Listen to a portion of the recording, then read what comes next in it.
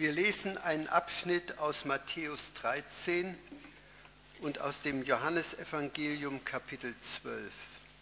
Przeczytamy urywki z Mateusza z 13 rozdziału i Ewangelii Jana z 12 rozdziału.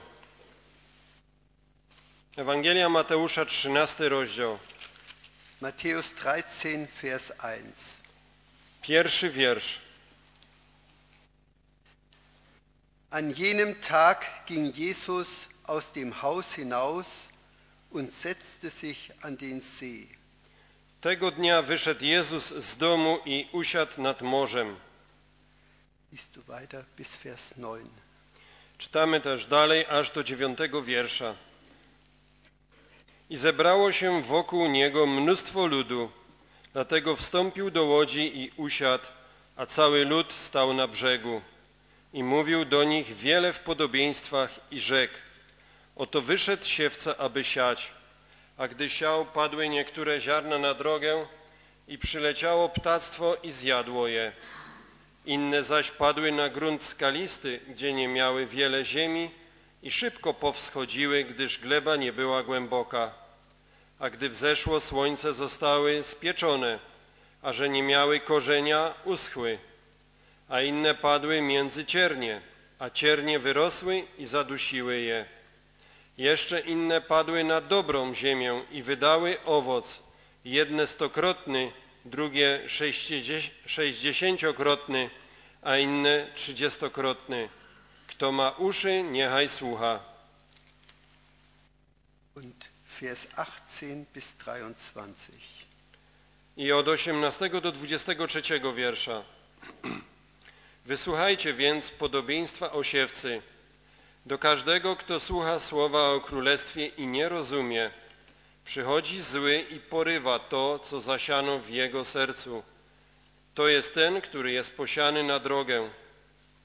A posiany na gruncie skalistym to ten, kto słucha słowa i zaraz z radością je przyjmuje. Ale nie ma w sobie korzenia, nadto jest niestały i gdy przychodzi ucisk lub prześladowanie dla słowa, wnet się gorszy. A posiany między ciernie to ten, który słucha słowa, ale umiłowanie tego świata i ułuda bogactwa zaduszają słowo i plonu nie wydaje. A posiany na dobrej ziemi to ten, kto słowa słucha i rozumie, ten wydaje owoc, jeden stokrotny, drugi sześćdziesięciokrotny, a inny trzydziestokrotny. Johannes 12, Ewangelia Jana, 12 rozdział,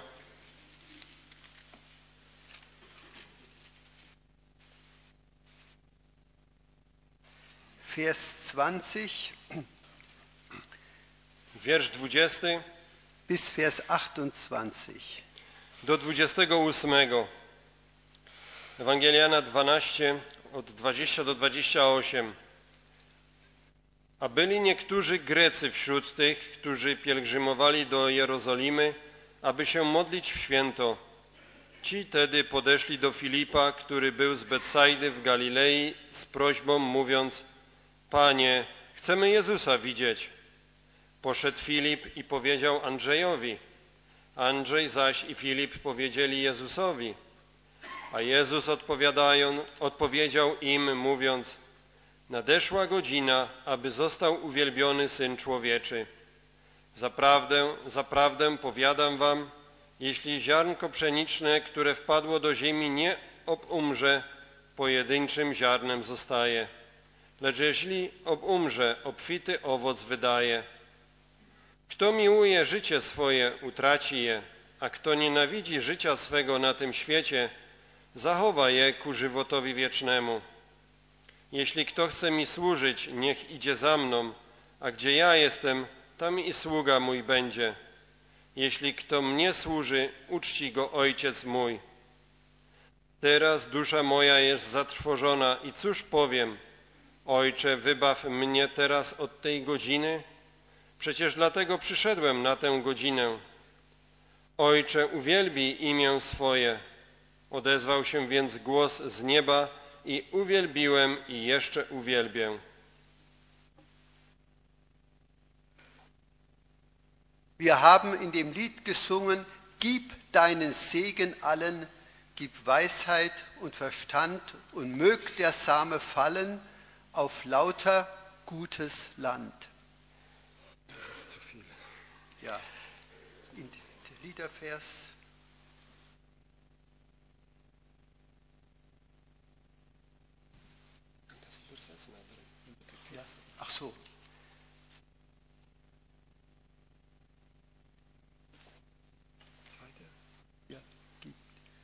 Gib deinen Segen allen, gib Weisheit und Verstand, und mög der. Same fallen, der Same fallen auf lauter gutes Land. W trzeciej zwrotce tej pieśni śpiewaliśmy Daj mądrość, zrozumienie, błogosławieństwo zlej, a życie twa, życia Twe nasienie w serc dobrą glebę wsiej. Das war der Wunsch unserer Herzen. Takie było życzenie naszych serc. Und in dem Abschnitt, den wir gelesen haben, A w tym urywku, który przeczytaliśmy, stellt sich der Herr Jesus vor als der Seemann. Pan Jezus samego siebie przedstawia jako siewcę. Er war von den Juden verworfen worden. On został odrzucony przez Żydów. Er hatte ja schon oft zu ihren Herzen geredet On już często do ich serc przemawiał. und er ging jetzt aus dem Haus hinaus und setzte sich an den See. I teraz też e, wyszedł z domu i usiadł nad morzem. Jetzt sollte seine Botschaft weit über Israel hinausgehen. Teraz jego poselstwo miało się e, roznieść daleko poza Izrael. Und wir sehen, dass eine große Volksmenge sich zu ihm setzte. I zauważamy, że wokoło niego zgromadziło się mnóstwo ludu. Der Herr Jesus stieg in ein Schiff und lehrte sie vom See aus. Dlatego Pan Jezus wstąpił do łodzi, usiadł i uczył cały lud, e, będąc na e, wodzie, na jeziorze. Und wir finden in den folgenden Abschnitten die Gleichnisse vom Reiche der Himmel. I w następujących e, podobieństwach e, znajdujemy opisy dotyczące e, Królestwa Niebios. Aber bevor er diese Gleichnisse ihnen vorstellt, Ale zanim on im przedstawi te podobieństwa, spricht er davon, dass es auf den Herzenszustand ankommt mówi do nich, że to właśnie też jest zależne od stanu serca, um diese Gleichnisse verstehen zu können. który umożliwia zrozumienie tych podobieństw. Es gab sicherlich keinen besseren Sämann. Z całą pewnością nie było innego, lepszego siewcy. Der Herr Jesus sät auch heute noch sein Wort. A Pan Jezus e, jeszcze dzisiaj sieje swoje słowo. Durch den Samen seines Wortes sind wir errettet worden. To z nasienia Jego słowa my zostaliśmy uratowani, zbawieni. Der Apostel Petrus spricht davon Apostoł Piotr mówi o tym in seinem ersten Brief, w swoim pierwszym liście.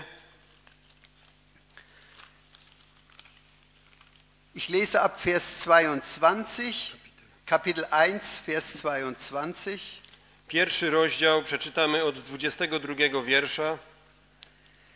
Da ihr eure Seelen gereinigt habt durch den Gehorsam gegen die Wahrheit zur ungeheuchelten Bruderliebe, so liebt einander mit Inbrunst aus reinem Herzen. Skoro dusze wasze uświęciliście przez posłuszeństwo prawdzie ku nieobłudnej miłości bratniej, umiłujcie czystym sercem jedni drugich gorąco, die ihr nicht wiedergeboren seid aus verweslichem Samen, sondern aus unverweslichem, durch das lebendige und bleibende Wort Gottes. jako odrodzeni nie z nasienia skazitelnego, ale z nieskazitelnego przez e, Słowo Boże, które żyje i trwa. Wie gewaltig ist doch das Wort Gottes. Jakże potężnym jest Słowo Boże. Es ist der Same der Wiedergeburt. Ono jest tym nasieniem y, nowego narodzenia. Und viele von uns haben dieses Wort Gottes im Glauben für sich in Anspruch genommen. I wielu z nas, z nas skorzystało z tego Słowa Bożego osobiście. Das Wort Gottes hat uns gezeigt, dass wir Sünder sind A Słowo Boże nam pokazało, że jesteśmy grzesznikami und so vor einem heiligen Gott nicht bestehen können. i że w tym stanie nie jesteśmy w stanie ostać się przed świętym Bogiem. Und das Wort Gottes zeigt uns auch den Weg des Heils. A Słowo Boże nam również wskazuje na drogę zbawienia, Es lenkt unsere Blicke nach Golgatha, gdyż ono kieruje nasze spojrzenia na Golgotę. zeigt uns, dass dort der Sohn Gottes unsere Sünden getragen und sie gesühnt hat. I wskazuje, że tam Syn Boży poniósł nasze grzechy i On je zgładził. Und durch die Annahme dieses Wortes, durch den Glauben, haben wir Frieden mit Gott erlangt. I poprzez e, przyjęcie tych słów e, ot- otrzymaliśmy i wiarę w Pana Jezusa otrzymaliśmy pokój z Bogiem. Das gibt tiefe Freude in das Herz eines jeden, der Vergebung erlangt hat.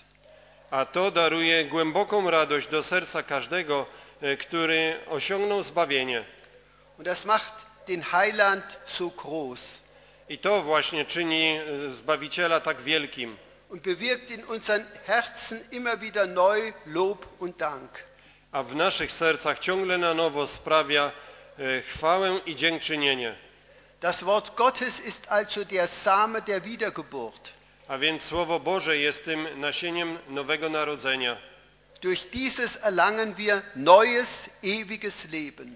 Przez które my otrzymujemy nowe życie wieczne.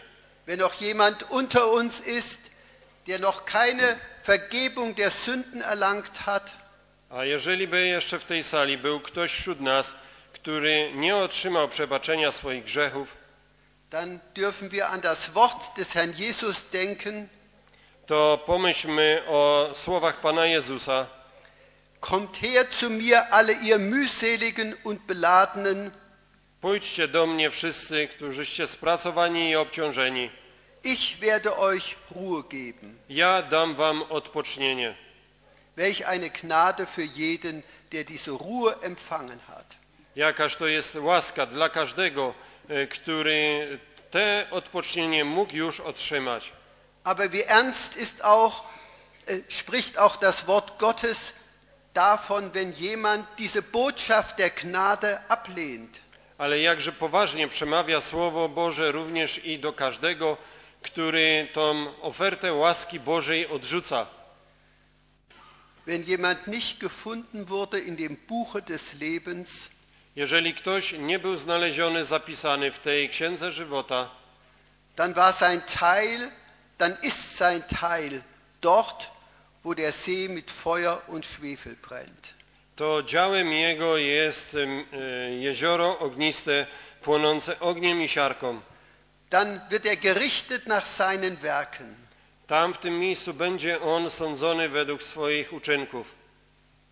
Niemand von uns hätte mit seinen Werken vor Gott bestehen können. Nikt z nas nie jest w stanie na podstawie swoich własnych uczynków ostać się przed Bogiem. Aber welch eine Gnade, dass der Herr Jesus unsere Sünden getragen und gesühnt hat. Jakaż to łaska, że Pan Jezus nasze grzechy niósł na krzyżu i On tam je zgładził. Hier in dem Abschnitt in Matthäus 13 sehen wir, dass das Samenkorn des Wortes Gottes auf unterschiedlichen Herzensboden fallen kann. Tutaj czytaliśmy w tych urywkach z 13 rozdziału Mateusza, że to nasienie Słowa Bożego może padać na różnorodny grunt serc ludzkich. Es kommt also auf das Herz an, wie es mit dem Wort Gottes umgeht. A więc to jest zależne właśnie od serca każdego człowieka, w jaki sposób ten człowiek obejdzie się z tym Słowem Bożym. Und das gilt in gleicher Weise auch für uns, die wir errettet sind. A to obowiązuje w ten sam sposób też i nas, którzy już jesteśmy zbawieni. die wir Gottes Wort aufgenommen haben My, którzy przyjęliśmy już Słowo Boże zur Vergebung der Sünden. ku przebaczeniu grzechów. Aber wir brauchen auch Gottes Wort Tag für Tag auf unserem Glaubensweg. Ale my potrzebujemy Słowa Bożego dzień po dniu y, na każdy, na każdy dzień naszej drogi wiary. Der Herr Jesus will zu unseren Herzen reden.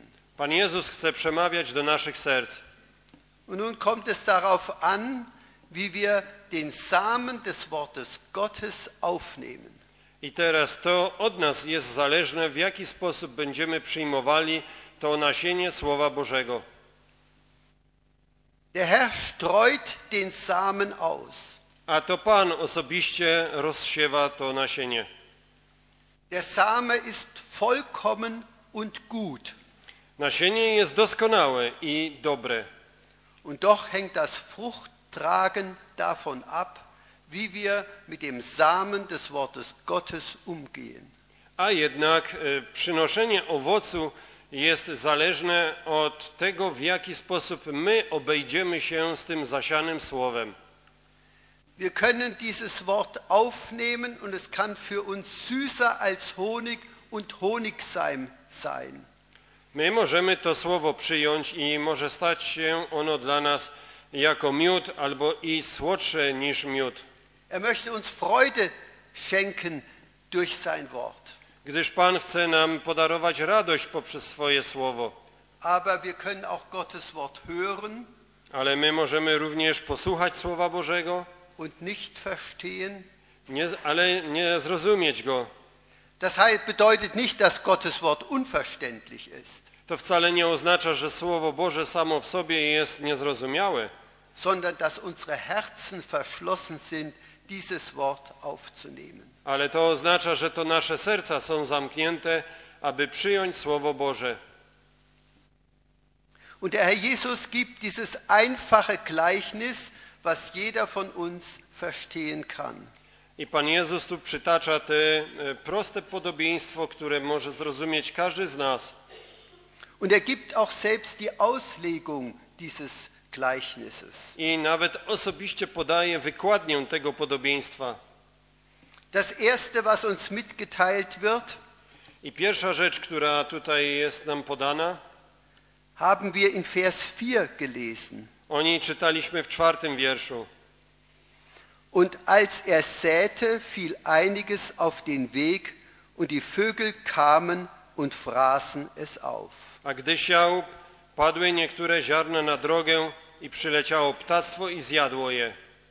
Und in seiner Auslegung sagt der Herr Jesus, A w wykładni, którą podał Pan Jezus, powiedział, so oft jemand das Wort vom Reich hört und nicht versteht, kommt der Böse und reißt weg, was in sein Herz gesät war.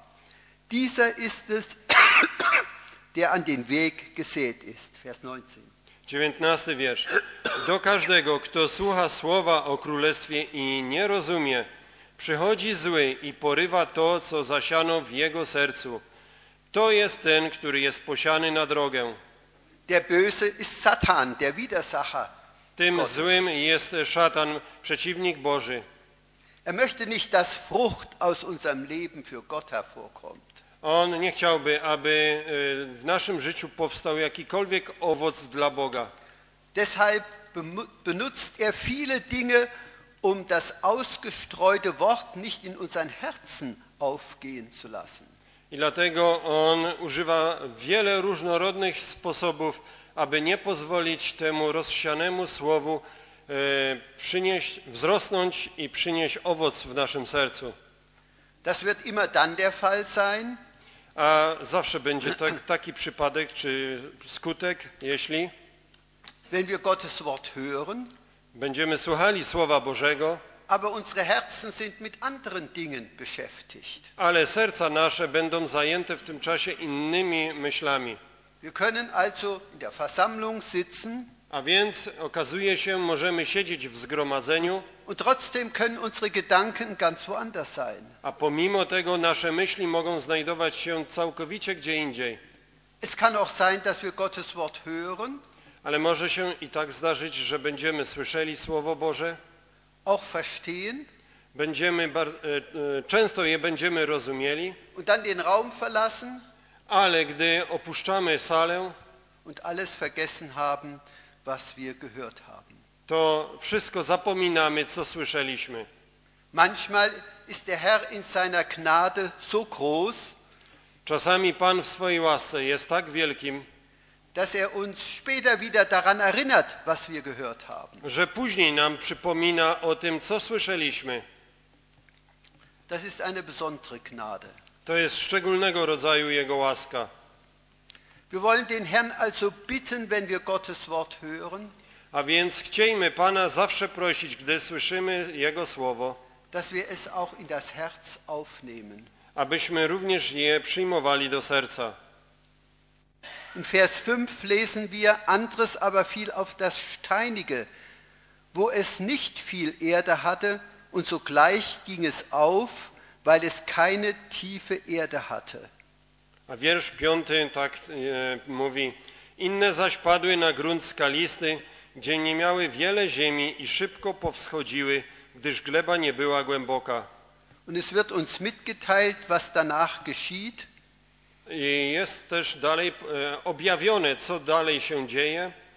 Als aber die Sonne aufgegangen war, wurde es verbrannt, weil es keine Wurzel hatte, und weil es keine Wurzel hatte, verdorrte es. A gdy wzeszło słońce, zostały spieczone, a że nie miały korzenia, uschły. In der Auslegung des Herrn Jesus sagt er, A w wykładni tego podobieństwa Pan Jezus osobiście powiedział Vers 20, w 20 wierszu, der aber auf das Steinige gesät ist, dieser ist es, der das Wort hört und sogleich mit Freuden aufnimmt. a posiany na gruncie skalistym to ten, który słucha słowa i zaraz z radością je przyjmuje. Das ist sicherlich eine große Gnade, wenn wir das Wort mit Freuden aufnehmen. Z całą pewnością jest to wielka łaska, jeżeli Słowo Boże przyjmujemy z radością. Das gilt für solche, die kein Leben aus Gott haben und das Wort Gottes hören. To dotyczy takich, którzy nie mają życia z Boga i słyszą Słowo Boże. Und wir hören ja immer wieder, wie nach Evangelisationen Menschen ergriffen sind und dann später aber doch alles vorbei ist. I jakże często słyszymy o tym, że na ewangelizacjach wiele ludzi jest poruszonych, ale później wszystko to zanika.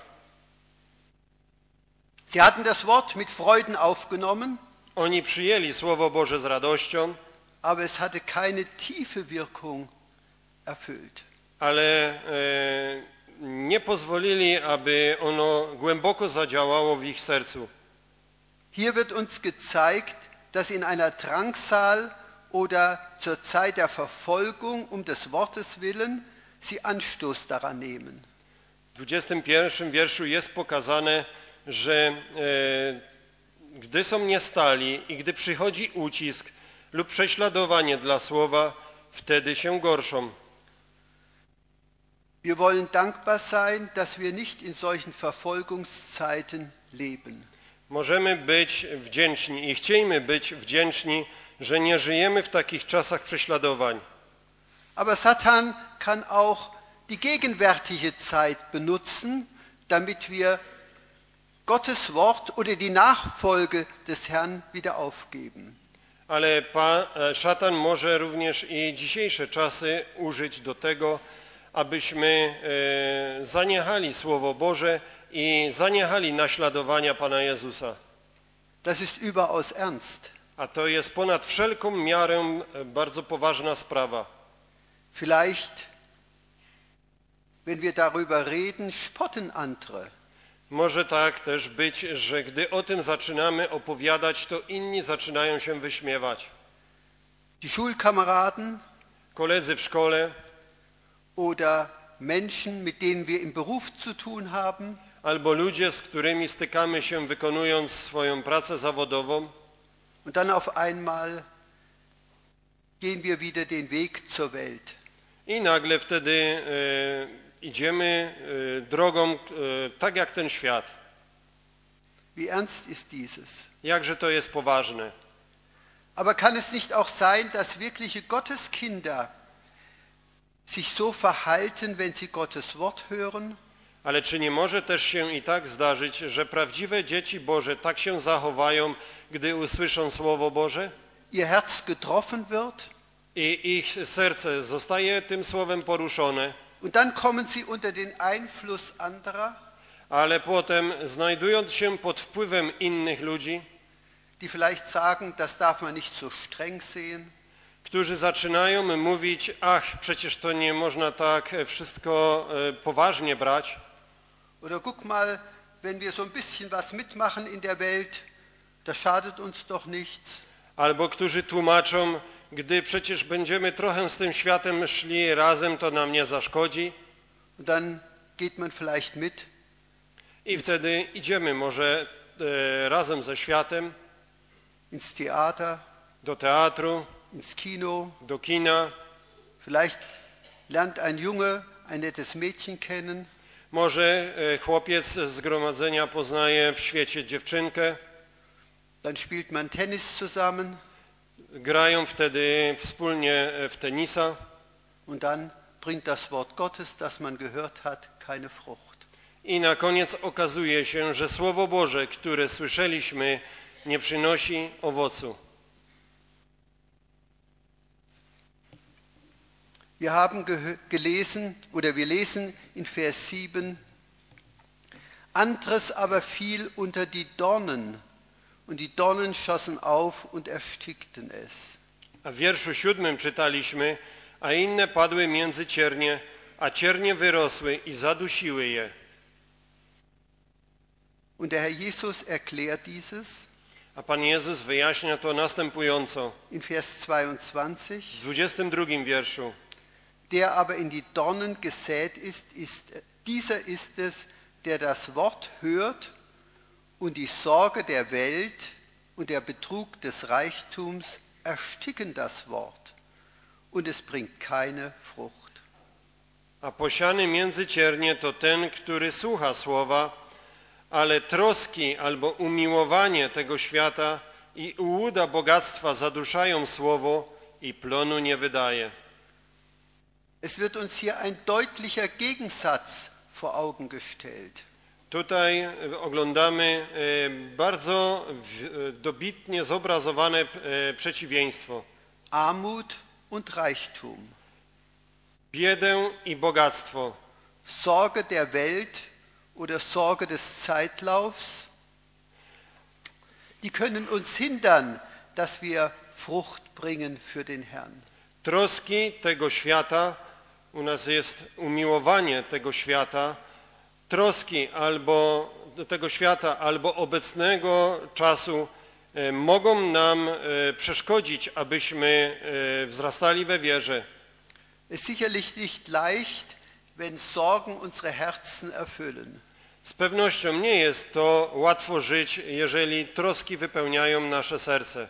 Vielleicht ist es die Sorge um den Arbeitsplatz Mogą to być e, troski związane z utratą miejsca pracy, oder die Sorgen, weil einer unserer Lieben krank ist. Albo troski spowodowane tym, że jedna z osób e, z naszego e, otoczenia, z naszych miłych członków rodziny jest chory, dann vergessen wir ganz, was Gottes Wort uns an ermunternden Worten sagt. wtedy bardzo szybko zapominamy wszystko to, co Słowo Boże nam w pocieszających słowach przekazuje. Dann wird unser Glaubensleben schwach Wtedy nasze życie wiary staje się słabe und die Anbetung unseres Herrn verhindert. i to wszystko e, e, przeszkadza uwielbianiu naszego Pana.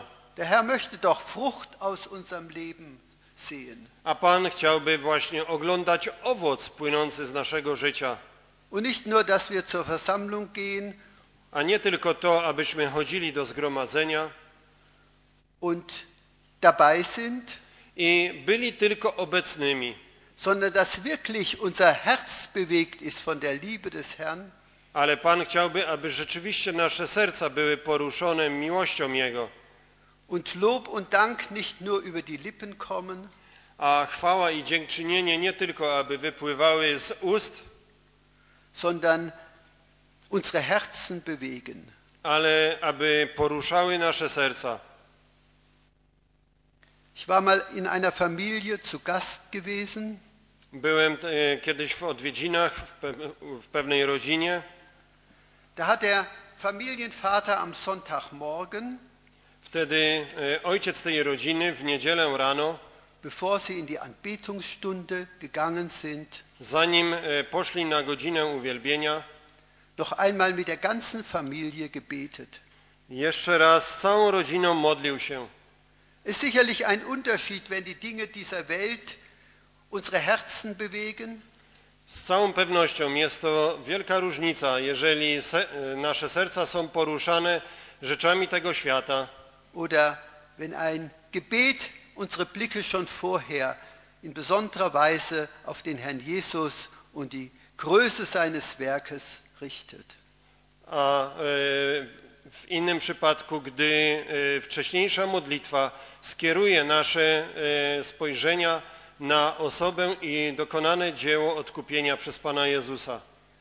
Auch der Betrug des Reichtums kann das Wort ersticken. Również też i łuda bogactwa mogą zadusić Słowo Boże. Wir wollen dankbar sein, wenn der Herr Jesus uns das Notwendige in seiner Gnade schenkt. Zawsze być wdzięcznymi Panu za to, że On nam te konieczne do życia rzeczy w swojej łasce daruje. Und es ist eine besondere Gnade, dass wir in Zeiten leben, wo viele von uns keinen Mangel haben. A szczególną łaską Pana jest to, że możemy żyć w takich czasach i rejonie, gdzie wielu z nas e, niczego nie brakuje. Aber das kann uns auch sehr leicht von der Gemeinschaft mit dem Herrn Jesus wegziehen. Ale jakże łatwo może nas to właśnie odciągnąć od społeczności z Panem. Wenn wir jung sind, machen wir vielleicht Reisen Gdy jesteśmy młodzi, to może bardzo często podróżujemy in eine Gegend, wo es keine Versammlung gibt. i udajemy się w rejony, gdzie nie ma zgromadzenia. Und dann vergessen wir ganz, dass der Herr Jesus möchte, dass wir an seinem Tag, an dem ihm gehörenden Tag, Lob und Dank bringen. I jakże łatwo wtedy zapominamy, że Pan życzy sobie, abyśmy w Jego dniu byli tam w tym miejscu, gdzie jest przynoszona chwała i dziękczynienie ze serc wszystkich zgromadzonych dzieci Bożych. Vielleicht entschuldigen wir uns damit, dass wir ja sonst gehen. Może samych siebie usprawiedliwiamy, że przecież zawsze jesteśmy obecni poza tym. Aber der Herr möchte, dass wir doch immer wieder, wenn wir die Zeit dazu haben, in seine Gegenwart kommen. Ale Pan chce, abyśmy ciągle na nowo mm, ten czas znaleźli, abyśmy e, znajdowali się tam, gdzie On jest obecny. Und wenn wir erst einmal damit angefangen haben, nachlässig zu sein mit dem Besuch der Zusammenkünfte, A gdy w naszym życiu już rozpocznie się taki proces e, lekkomyślnego e, zaniechania e, regularnego chodzenia tam, gdzie jest Pan, so wie, der, wie wir in Hebräer 10 finden, tak jak to czytamy e, w liście do Hebrajczyków w 10 rozdziale, dass es solche gab, die die Zusammenkünfte versäumten Tam czytamy o takich, którzy zaniedbywali wspólnego zgromadzania się. dann kann es leicht eintreten, dass wir an der Gnade Gottes Mangel leiden. To jakże łatwo może też i wystąpić sytuacja, że będziemy cierpieli na brak łaski Bożej. So lesen wir in Hebräer 12, Vers 15. Tak czytamy w Hebrajczyków w 12 rozdziale, w 15 wierszu. Achte darauf, dass nicht jemand an der Gnade Gottes Mangel leide. Bacz, bacząc, żeby nikt nie pozostał z dala od łaski Bożej. Dann hat das Wort Gottes keine Frucht in unserem Leben bewirkt. Wtedy okazuje się, że Słowo Boże nie sprawiło owocu, nie przyniosło owocu w naszym życiu. Der Betrug des Reichtums kann auch dazu führen, I właśnie ułuda tego bogactwa może i do tego doprowadzić, dass wir allen möglichen Hobbys nachgehen, że będziemy oddawali się w wypełnianiu naszego czasu wszelkiego rodzaju hobby. Satan bietet immer etwas, um uns von dem Herrn Jesus abzuziehen. Szatan zawsze coś znajdzie, aby nam zaoferować, aby nas odciągnąć od Pana Jezusa. Und dann wird das, was angefangen hat, in unseren Herzen zu wirken, erstickt. A wtedy to, co zaczęło działać w naszym sercu, zostaje zagłuszone. Der Betrug des Reichtums erstickt das Wort. I łuda bogactwa zaduszają słowo. Und er bringt keine Frucht. I ono nie wydaje owocu czy plonu. Aber wie darf es auch unsere Herzen erfreuen, Ale jakże może to nasze serca cieszyć, wenn wir lesen, anderes aber fiel auf die gute Erde und gab, gab Frucht, das eine hundert, das andere sechzig, das andere dreißigfach. gdy czytamy 23 wiersz, a posiany na dobrej ziemi, to ten, kto słowa słucha i rozumie, ten wydaje owoc, jeden stokrotny, drugi sześćdziesięciokrotny, a inny trzydziestokrotny. Im Psalm 1 wird uns auch vom Fruchtbringen gezeigt. W psalmie pierwszym również mowa jest o e, przynoszeniu owocu. Die Voraussetzungen sind da in zweifacher Hinsicht, werden uns in zweifacher Hinsicht vorgestellt. Ale warunki początkowe do tego, aby tak się stało, to e, z podwójnego czy z dwóch punktów widzenia są bardzo ważne. Auf der einen Seite das sich wegwenden von dem, was nicht gut ist, Z jednej strony jest ważne, abyśmy odwrócili się od tego, co nie jest dobre. da heißt es, glückselig der Mann, der nicht wandelt im Rat der Gottlosen und nicht steht auf dem Weg der Sünder und nicht sitzt auf dem Sitz der